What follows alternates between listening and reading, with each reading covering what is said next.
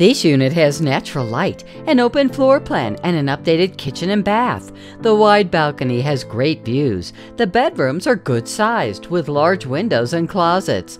This unit has a designated garage space and ample parking in front.